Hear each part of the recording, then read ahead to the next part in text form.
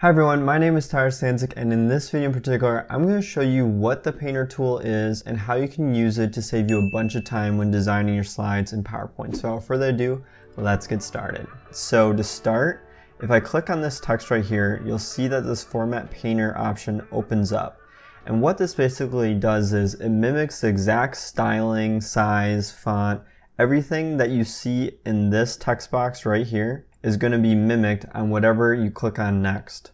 So let's say in this example on slide 2, I have the sample text right here, and all of a sudden I decide I really like this juicy text, and I want it to be the same style as the sample text. So what I'm going to do is I'm going to click on this juicy text box, and then click on Format Painter, and then click on Sample Text, and now is the exact same styling as that juicy text.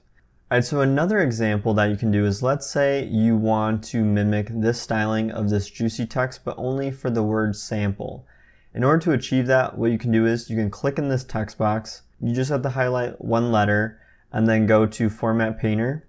And now you're able to have this highlighting option with the Painter tool, and you can highlight how many letters or words or how many phrases you would like to mimic. So if I let go, now if I zoom out, you'll see that the only styling that was mimicked was the word sample and not the word text. So this is a cool hack if you just want one word to have the match styling. So now let's say we want this text to have the same styling as, let's say this text right here. We can then highlight this text, make sure that's highlighted, go to Format Painter, and then you can highlight the word text. Alright, so now we have the same styling as this juicy text, and then we have the same styling as this packed of all materials. Now, you need to note that the sizing and font, color, everything is going to be mimicked. For this situation, let's say I click on this again, and then highlight sample.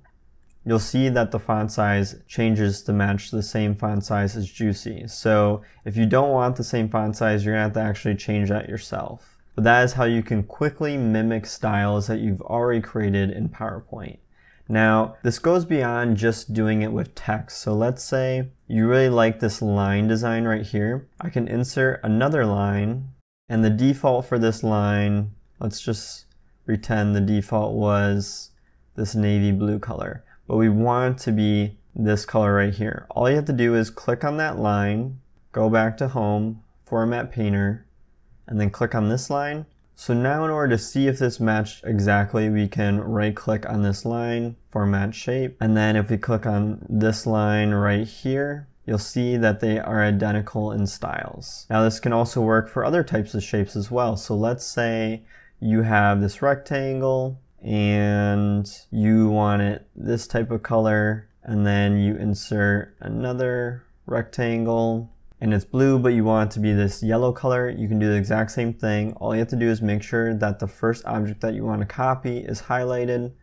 Click on Format Painter, then click on this square.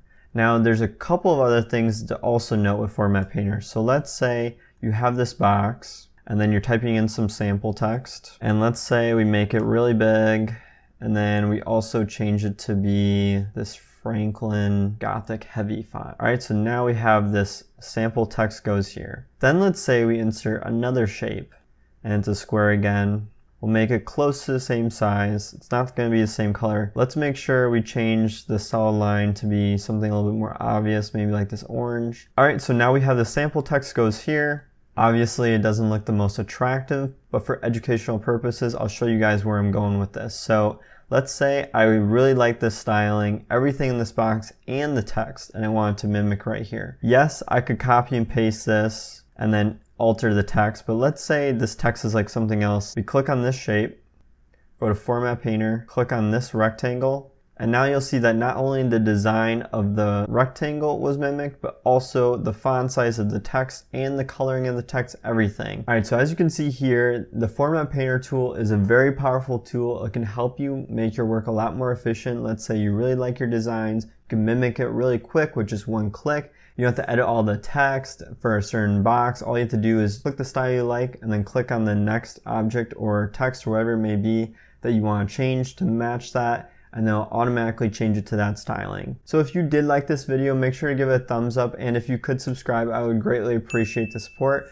Also, if you are interested in learning more about PowerPoint, make sure to check out my course on Udemy. I'll have the link to that in the description below, and there's going to be a discount for you guys for making this far in the video. Lastly, let me know what you guys thought about this video in the comments down below and what kind of videos you guys are interested in learning more about next. Without further ado, I hope you guys have a great rest of your day, and I hope to see you guys in the next video. Thanks.